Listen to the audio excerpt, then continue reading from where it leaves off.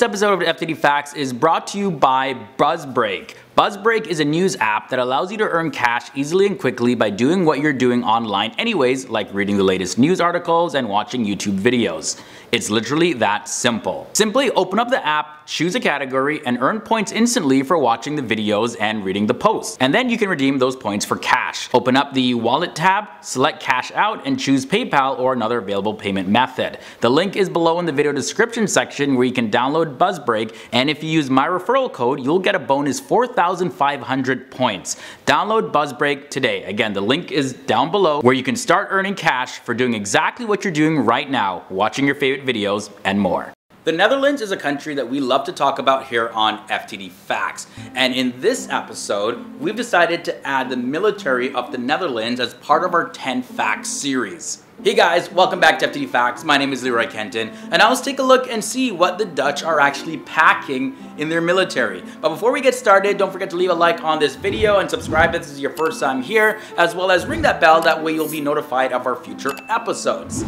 Alright, so for the first thing I want to share about the Netherlands military is that they are officially known as the Armed Forces of the Netherlands, and the service branches of the Netherlands Armed Forces are the Royal Netherlands Army, the Royal Netherlands Navy, and Marine Corps, and the Royal Netherlands Air Force, as well as the Royal Military Constabulary. Now, the Netherlands isn't really a country that comes to mind when you think of a powerful military country like some of the other countries near it, but it doesn't change the fact that the soldiers from the Netherlands are some of the best in the world. They're well trained and they train with other top countries as well, and of course that makes them a force to be reckoned with.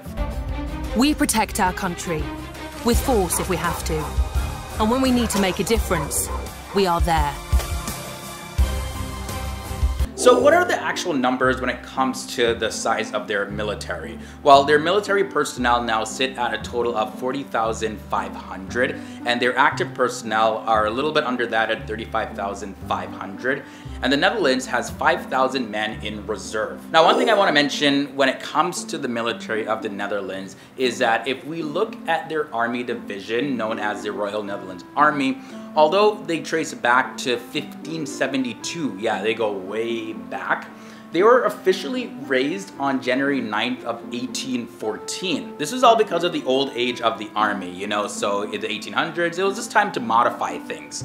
But either way, before that, it was one of the oldest standing armies in the world, even taking part in the 80 Years' War. But moving on now, in today's world, as of May 1st, 1997, the Netherlands ended its compulsory attendance. But that doesn't necessarily mean that conscription has ended for the Netherlands. Pretty much how it works in the Netherlands is that every single male citizen, they get a letter in the mail when they hit 17 years old saying that they have to be registered for the military. And now this applies to girls as well because girls also are now eligible for compulsory military service. And this was after the Senate passed a change in the law recently. However, they don't have to really be put in for service. But one thing to note though is that Curaçao, which is a country that is part of the Kingdom of the Netherlands, does follow the constitution and has what is called active social conscription. And pretty much that basically is for underprivileged males to get military training. Now I want to talk a little bit about the Royal Netherlands Air Force. Now this is their modern Air Force. They're very high tech and they contribute to the peace and security not just in Netherlands but also in different parts of the world. For this purpose, it has highly qualified personnel as well as aircraft, helicopters, and other sorts of weapon systems to be used at their disposal.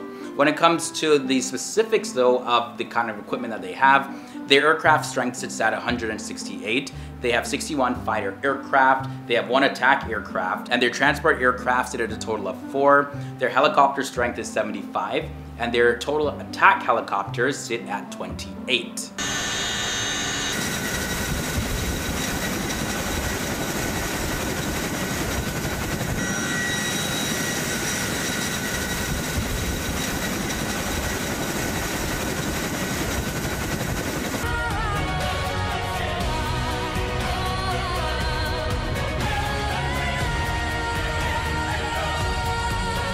The Royal Netherlands Army. So of course this is the land operations and they contribute to the freedom, the security, as well as the prosperity in the Netherlands and other parts of the world as well. And the army performs its tasks with well-trained military personnel. Like these guys are intense. Lirat, ze zitten links. Nog steeds. Ik weet alleen niet waar. Pak ze thuis. Hoi!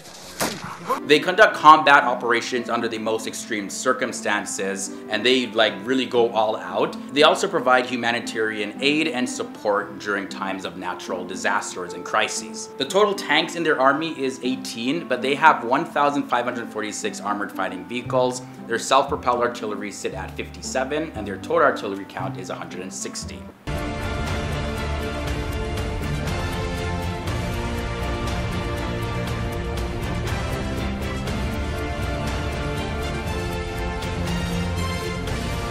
Alright guys, so let's move on over into the Navy for the Netherlands military.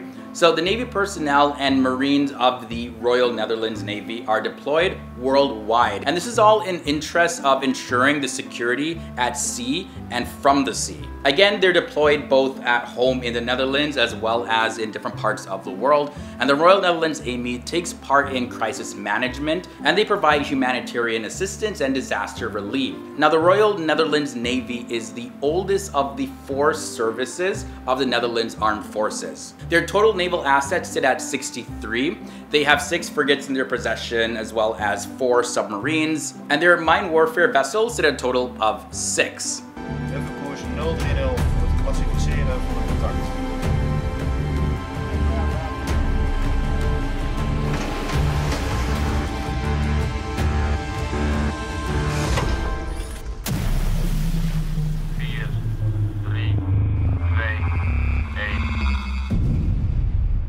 Now, as I mentioned, the Netherlands isn't really on top of anyone's list when we think about countries that are known for their military power and dominance. But either way, they contribute in a massive way. So check this. Although the Netherlands does not have any weapons of mass destruction that they make domestically, the Netherlands participates in the NATO nuclear weapons sharing agreements and trains for delivering the United States nuclear weapons.